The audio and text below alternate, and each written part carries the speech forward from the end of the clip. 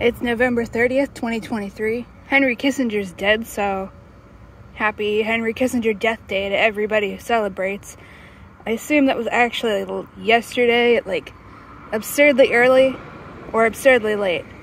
But, anyways, this is a loofah that we had to harvest early. Probably like most people growing loofah because it got too cold and the vine got damaged so you're usually supposed to wait until they dry on the vine by themselves. And I was on iNaturalist going through the whole genus and looking at them all. And actually, I realized that in the wild, or when they're not being picked, when they dry naturally on the vine, at the very bottom here, you can sort of see it, there's a ring. This is the end where the flower was. And let me sit down and show you. There's a little indentation all along right here. You can't really see it now, but you can tell it's there if you know what you're looking for. But in the wild, or if a gardener doesn't come along and pick them when they're fully dried, this part will actually come off so that all of the seeds can just go right out. And that's how they propagate themselves. Because I was wondering about that, because I was like, I don't really think anything eats them when they're ripe, so how are the seeds spreading? Well, they, they drop them like a literal seed bomb. But anyways, I'll show you how to get this open because this thing is heavy. It's not as heavy as it was when it was still growing because at one point I think it must have weighed like 20 pounds at least. Like it was absurd. But when they are green like this, well, I'm gonna drop it and we'll see what happens. Not much. But anyways, to get these open, you want to... Oh, there's a spider on my hat. Hold on.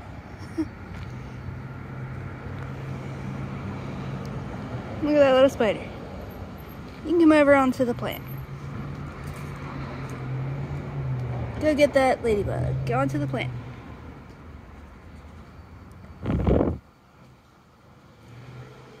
I'm doing a video here. You're interrupting. Okay, it went off. Anyways, look at that ladybug.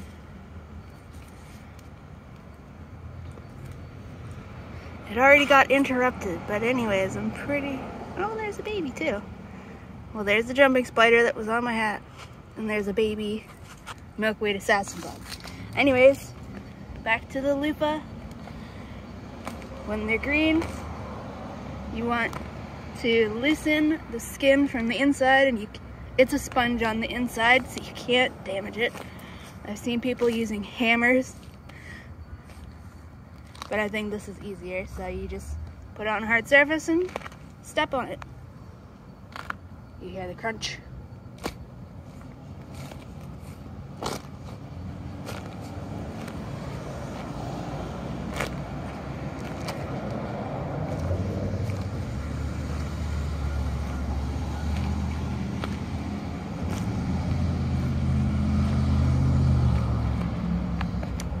You can see all the sap in there. It's not really sticky, but it's foamy. It's kind of funny. It's like soap suds.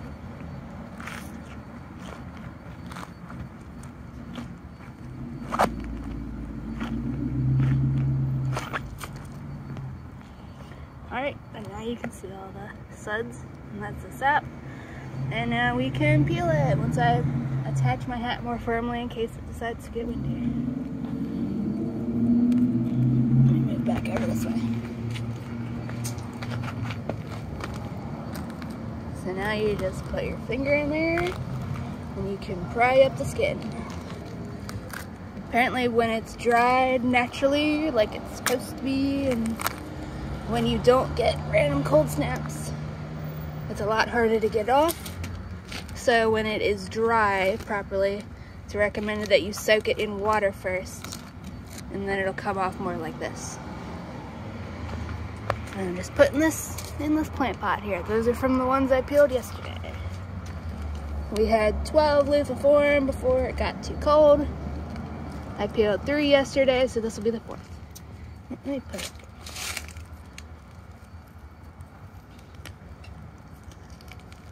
yeah, if you can just get a finger in there and then you can slide it up and down. I don't know if you can see, but it's it comes off easy once you get some leverage.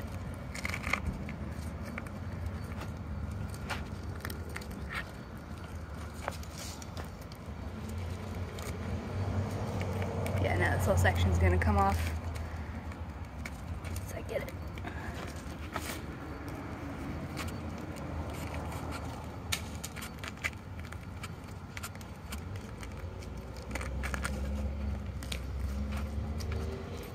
Yeah.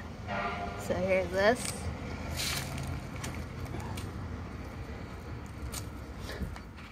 Here's the whole skin. And here's this. Also, for more random information, there are at least seven species of loofah. This one is, they're all in the loofah genus, which is literally just loofah. This one here is sometimes called the smooth loofah because it has smooth sides. It's one of the most commonly domestic ones. There, this one's scientific name is currently uh, loofah. I don't know. It's got A E. I don't know how, if you're supposed to still pronounce it Egypt or if it's Egypt, but it's like loofah aegyptiaca or maybe Egyptiaca, because I think they found these like in hieroglyphics, so they had this, I'm not sure if it was domesticated yet, back in e ancient Egypt, so that's cool. Another commonly domestic one is ridge gourd or angled loofah, ridged loofah, and it gets long like this because it's also domesticated. But unlike this one having smooth sides, that one has really distinctive ridges that go down the sides. And it's also sometimes called Chinese okra because it, I mean, yeah, I guess it kind of does look like an okra pod, the way okra pods have the ridges. And it's also eaten the same way as an okra pod. You pick them when you're they're young, chop them up and use them for whatever you want. That's also how these ones are eaten. You get them when they're young, like every Google result says like seven inches or something. And then you cook them. Uh, we didn't do that because we wanted to grow them for sponges and to save seeds. And that endeavor, or seed saving at least, is failing so far, unfortunately, from the cold. But yeah. This whole section would be off already if I could use both hands, but I have to hold the camera.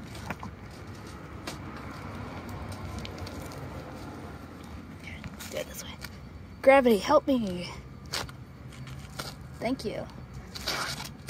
Yeah, so here's all this skin. It's just all going in this plant pot here and gonna help feed my blueberries.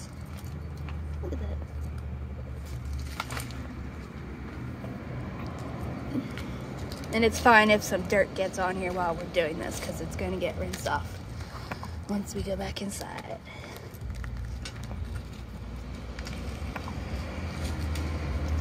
It's, this is a lot easier with two hands.